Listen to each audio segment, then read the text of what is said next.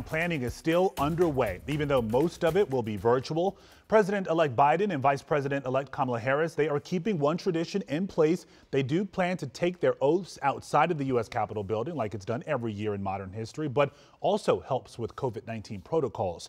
And just a reminder, Biden's team is urging you to watch that swearing in from home. This virtual inauguration will look somewhat similar to the 2020 virtual Democratic National Convention.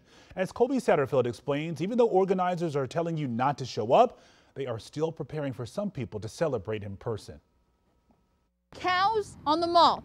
Nope, I'm not talking about the farm animals. I'm talking about these.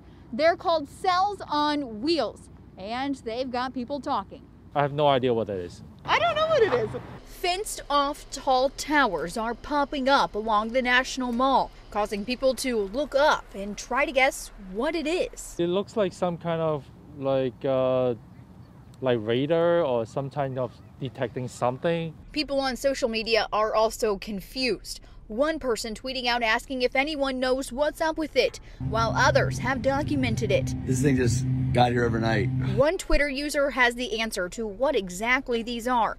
Brendan Carr, commissioner of the Federal Communications Commission. He put on Twitter these towers are called cows, and they are turning up across the National Mall and Capitol ahead of Inauguration Day. So, what are they? Carr says they are cells on wheels, cows, and they are temporary cell sites that add capacity and boost cell speeds. Carr told our Adam Longo on Twitter cows and sometimes colts, cells on light trucks, are brought in when officials expect more people to gather in an area than normal or more than permanent network is designed to handle.